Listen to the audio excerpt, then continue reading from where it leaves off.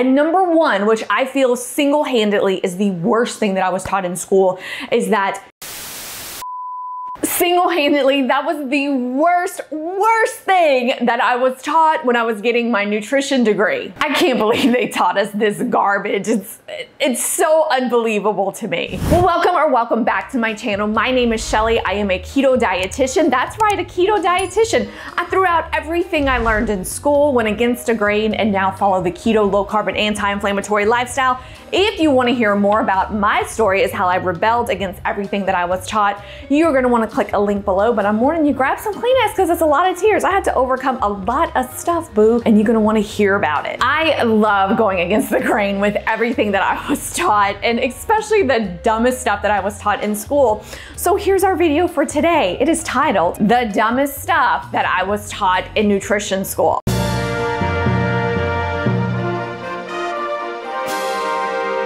Or should Say the garbage that I was taught in nutrition school? You know, one of the first things that absolutely blew my mind, it's like I'm a high school senior, I wanna go to college, and you have to remember this is a long, long time ago, It's that you need to take some electives. Electives? I don't even know what that is and it had to be non-nutrition elective. So I picked some ridiculous classes like I think I picked geology and astronomy because we know that geology and astronomy needs to be taught in nutrition. Because let me tell you, when any of my new patients or clients walk in, one of the questions on that form is, tell me about the Milky Way. And I'm not meaning this Milky Way, I'm meaning that Milky Way. Complete waste of my time. I don't even know why I took those classes. I think I had this thought in my mind that some cute boy was was gonna be in there and that we would look in this at the stars. It was pretty much Scantron test, which if you don't know those, it's this sheet, it's bubbling. Transition, complete waste of time. I mean, but let's get into the seriousness of some of the items that I was taught.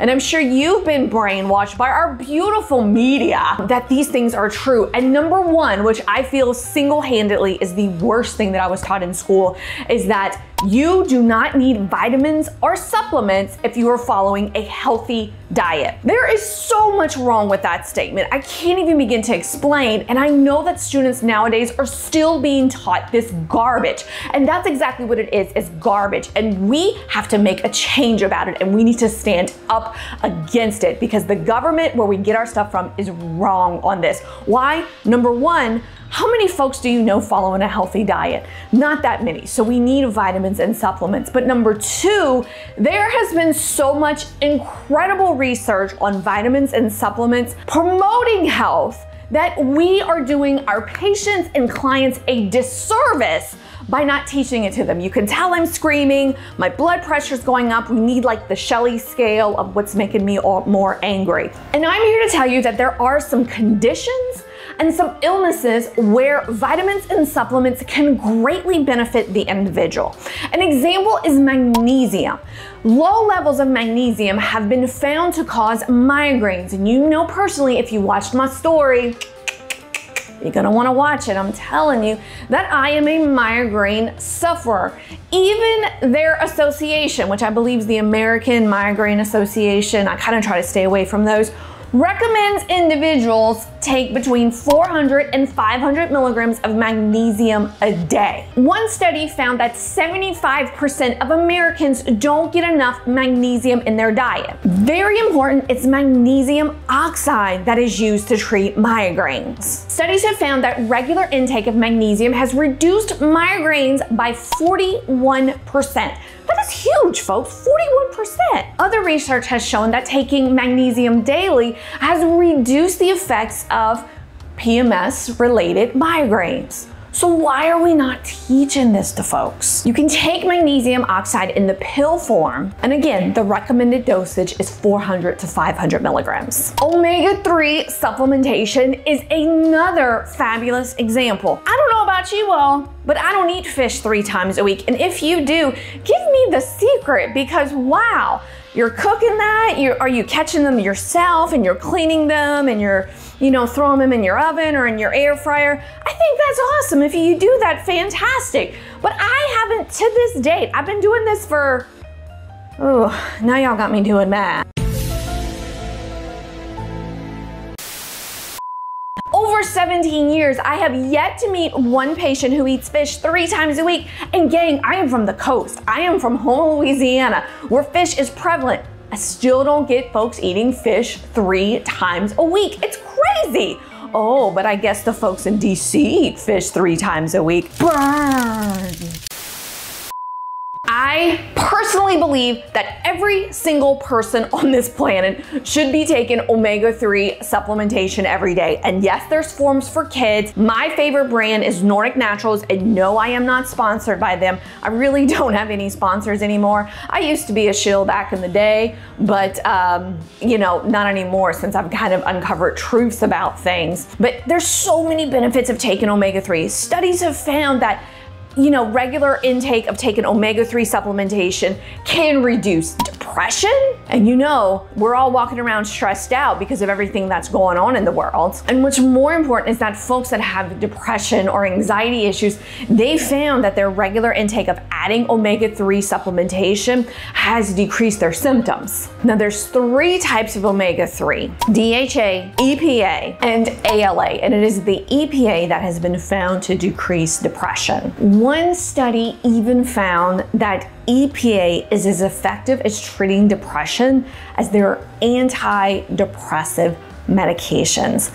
That is huge gains because some of those medicines that they prescribe to you can promote weight gain. How great would it be that you could take something that not only doesn't cause weight gain, but has so many other benefits to the body? Even taking omega 3 during your pregnancy is huge, and I did this, and it can help benefit the baby with decreased risk of ADHD and cerebral palsy. And the most common reason we hear to take an omega 3 supplement is for heart disease. And this is the fight that I get back when it comes to talking about keto and low carb with folks. All you do is tell people to eat fat. I could never prescribe a low carb diet. Shut your face, old school dietitian, because here's the deal. We promote good omega 3 fatty acids which have been found to help with heart disease. For example, omega-3s can increase the HDL cholesterol, which is the good cholesterol in our body. It can also help with the prevention of your blood clots. And most importantly, it can help decrease inflammation. And you all know that I am huge on inflammation.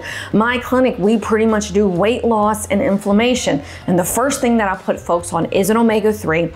I recommend 2,000 milligrams a day. I'll have links below to the studies because I know I'm going to get a Debbie Downer on here who's going to complain and boo boo and be pretty much paid off by some of the pharmaceutical companies. Whereas I'm here to say, bebe, we can take that omega 3 and do so much better than some of those pill dispensers that you're visiting. Woo! I'm fired up today.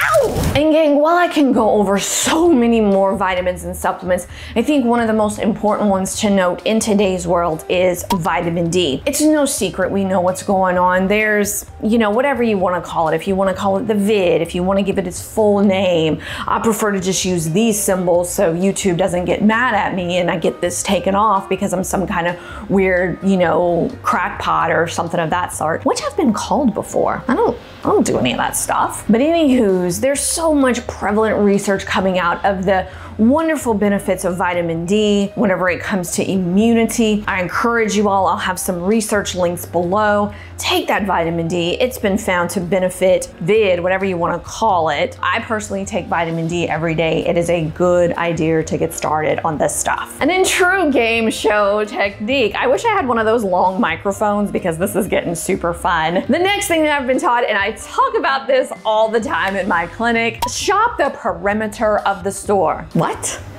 Why? And I get it. Maybe in 1927, when you know you had two pennies and you walked into the store and it was about 400 square feet and you just kind of walked the sides and got it. Come on, gang, this is so old school and it's still it's on so many handouts that I see that folks bring in to me. It's almost an embarrassing concept because I don't know about you, but there's a lot of specialty stores. Stores are huge now. Typically, the first thing when you walk in the store is the bakery. I mean, come on, you want to you want to tell folks to get their cupcakes, and then you're gonna come back and tell me, well, Shelly, people should know better not to get cupcakes. No, ma'am, they don't. They do not. If you tell them to shop the perimeter store and a cupcake is there, I guarantee you somebody's gonna buy that cupcake because you said to shop the perimeter of the store. Don't think so? Ask any kid. I have two kids. If I told them to shop the perimeter of the store because that's the healthiest thing and that's what we should be teaching our children to do, I know for a fact both of mine are gonna come back with cupcakes. Oh, Shelly, aren't you a dietitian? And you know, don't your kids know better? Girl, please, don't try to sneak anything under me and don't act like yours are angels. But the point is, gang, that is such outdated advice. Stores are not there to put the healthy stuff in the, in the perimeter and the non-healthy stuff in the aisles. That is just dumb, dumb, dumb. And if you think I'm being really vocal or anything, you can make a comment below because you're gonna help me in the algorithm. Thanks so much. Truth of the matter is, gang, there's so many things that are in the inner aisles that are great. We got our wonderful gluten-free high fiber cereals. Even some of our breads are now in the interior. And yes, I did say bread, don't panic. You all know I promote low carb, gluten free breads. Uh, for example, Unbun is one of my favorites. Base Culture is another one. Going back to the cereals, I like the Pro Granola. One of my favorite stores is a store called Drug Emporium, and it is more of a local based store. And I'm sure you all have stores like that in your uh, city or town. If you're in a place and there's one go in it, there really is no perimeter. It just has the foods kind of in the middle of the store down the aisles. For example, your almond flours, your wonderful, you know, sugar replacers to use like your allulose and your stevia made with your made or cut with no sugar alcohols because remember sugar alcohols can cause a little bit of tummy troubles there. But remember gang, it is okay to go in the aisles of the store. There is no need for you to feel any kind of guilt or anything like that. I can go on and on. There's wonderful tunas. We talked about omega-3 uh, fatty acids earlier. There's your great waters. I mean, there's so many good things in the middle of the store. Don't, just, just don't follow that advice anymore. It, next. This one hurts my heart as well. a serving of fruit juice is a fruit. Girl, where you came up with that? What? Huh? A serving of fruit juice is a fruit. No. what? I mean, nine times out of 10, it, okay, so so let, let's be real about this. So we got an orange, which we really don't do oranges in our clinics. We do more of the berries because they're higher fiber. And if I'm gonna juice that bad boy and I drink it, it probably gonna taste like bad, like really tart. So what do these companies add to it to make it taste better? Sugar. You know, it always kills me when I talk to new patients and maybe they've, you know, seen other educators and all that stuff, which is fine, which is fine. It doesn't matter where you start, it always matters where you end up. And, you know, they'll say, well, I take my medicine with fruit juice and it's not their fault. I'm not at all laughing about them. And it counts as one of my four fruits for the day because that's what's on the USDA guidelines. And my blood sugars are like in the 320 range. I don't know why. And I'm just, yeah, that's bad. That's just that's just bad. Gang, companies cut fruit juice with sugar. Let's keep it real. You know, you'll see some of the sugar-free ones, which I guess you can do. You got to read the labels because y'all know I hate all the artificial sweeteners. Now, sugar replacers are different that they add to them. So read the label. Okay, I had to pause this video and really do the calculation for you. A cup of orange juice is 112 calories, 26 grams of carbs, and zero grams of fiber. Whereas a cup of raspberries 64 calories, 15 grams of carbs, 8 grams of fiber, so 7 net carbs. You mean to tell me that orange juice is the same as my raspberries? So first off, the calories are pretty much half. The net carbs are, oh man, y'all making me do math again. It's definitely less than half, but what would that be? Less than 65%? I mean, no, no, no, no, no, no. Just, just no. Now we really get into the nitty gritty. Eggs increase cholesterol. So only eat the egg whites. Okay, I get this one because oftentimes we hear eggs are good for us, we'll hear eggs are bad for us. And I get it. We've been taught, you know, to make the egg white omelets. Ugh gross. But here's the deal with the egg yolk, we could be missing out on vital omega-3s, we could be missing out on vital choline. And yes, I get it, the egg yolk does have fat, but again, we know that our body needs fat to survive. We should not be following a fat-free diet anymore. We need to bring fat into the body. So that little egg yolk, you'd be okay with having that. And in fact, the entire protein group to me is embarrassing. That's on the food guide pyramid. I mean, let's take the poor chicken, for example. We are only allowed to eat the chicken breast, all right, because it's lean and it's white meat. Why aren't we eating the thighs? The thighs are just as wonderful. Gang, don't believe that stuff. That white meat is better than dark meat. Let's compare it. So your three ounces of chicken breast is 26 grams of protein, four grams of fat, and 147 calories. Your chicken thigh, three ounces, 24 grams of protein, five grams of fat, and 147 calories. That's not really that big of a difference. The difference is gonna be the taste quality. Often folks overcook chicken breast and hence it's dry and it's funky and we just go, oh my gosh, am I really eating this? You know, rotate them in, put the thighs in the air fryer on your grill. They're fantastic. Throw them in your soups. Great flavor. You Tell your patients to do steamed vegetables with Mrs. Dash. Sorry, Mrs. Dash, you need to go away. First off, Mrs. Dash is nasty is gross. And again, here's where my maturity factor comes in because some of y'all are being like, you're not being mature about it by saying Mrs. Dash is nasty. Um, baby, do you eat that stuff? And if you do, comment below because again, I want the YouTube algorithm to be like, dang, she's got some engagement on that video. Yeah, boo, go on and comment. It's not good, gang. And then steamed vegetables by themselves. Oh my gosh. Like really, like let's just set up people to fail because I surely would rebel against that. Look, I love some steam in the bag vegetables. They're super convenient. They save us time. You can get them home. And in fact, I do recommend my patients to use them.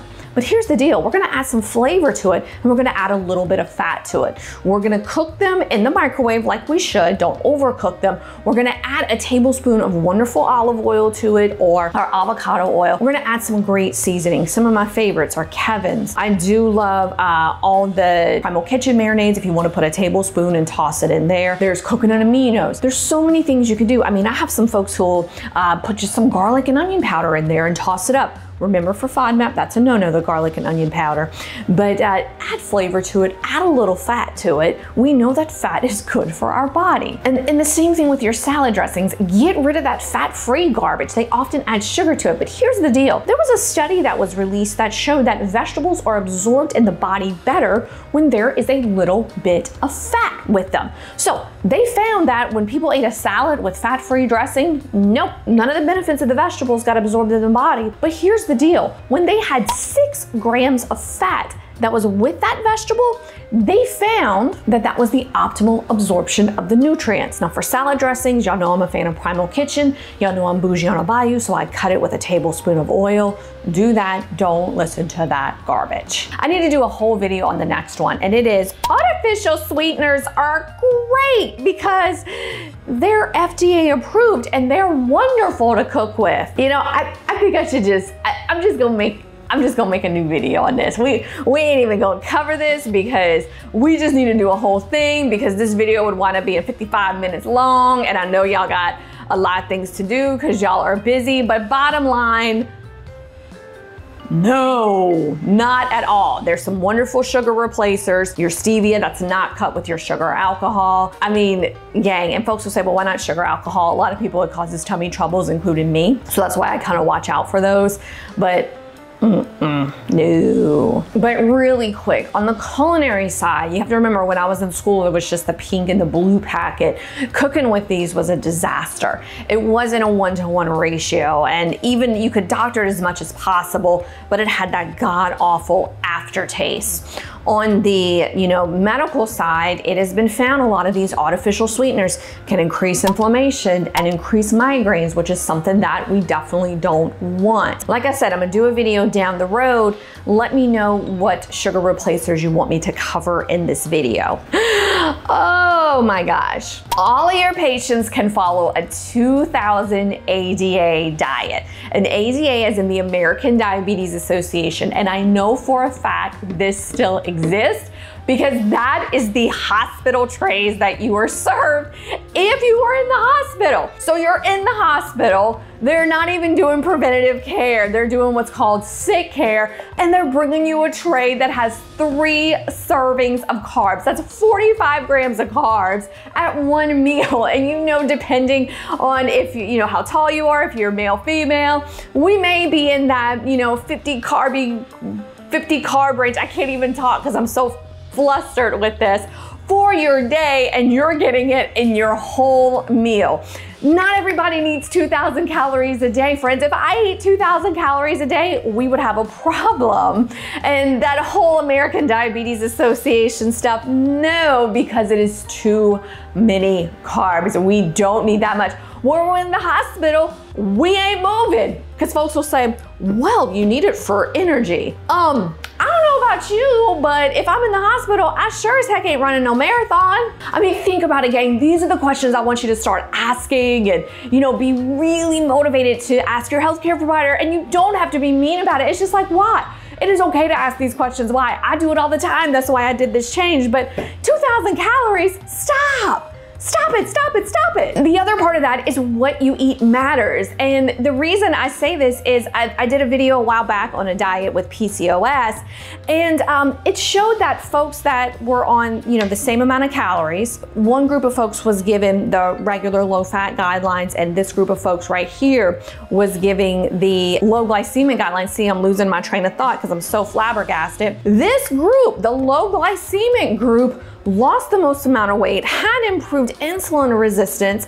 I mean, gang, we need to start looking at this new stuff instead of the stuff that we were taught in 1953. I don't understand why we're still doing this and it's complete garbage. And I have a personal connection with that story where I did follow that you know, 1500 calorie ADA diet, tracked it all on my fitness pal and gang, it nearly killed me. And it leads me to say that this is the exact garbage that I was taught. I followed it for so long and it nearly killed me one day I literally had a breakdown and realized I had to change. And I'm getting very emotional about this. And I'm going to close out this video by saying you need to go and watch my story about how the ADA guidelines nearly killed me. It's right here. I'm going to link it below. And gang, I love you all. I do this because I care about you and your health. We need to quit listening to this garbage because you have to watch my story. Thank you. Love to all. Mwah.